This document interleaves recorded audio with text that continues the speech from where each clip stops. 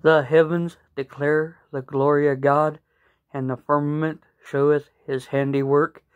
Day unto day uttereth speech, and night unto night showeth knowledge. Yes. There is no speech nor language where their voice is not heard. Their line is gone out through all the earth, and their words to the end of the world. In them hath he set a tabernacle for the sun, which is as a bridegroom coming Mhm. out of his chamber, and rejoiceth as a strong man to run a race.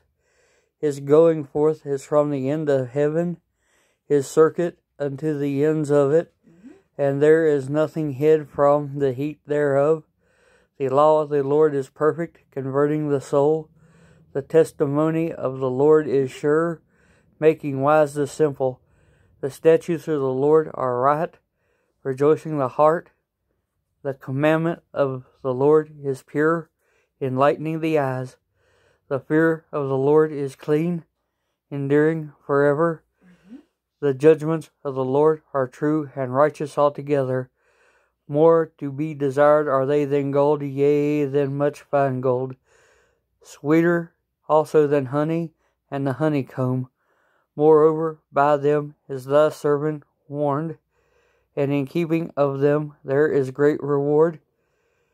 Can a man understand his errors? Cleanse thou me from secret faults. Keep back thy servant also from presumptuous sin. Let them not have dominion over me. Then shall I be upright, and I shall be innocent from the great transgression. Let the words of my mouth and the meditation of my heart be acceptable in thy sight, O Lord, my strength and my redeemer.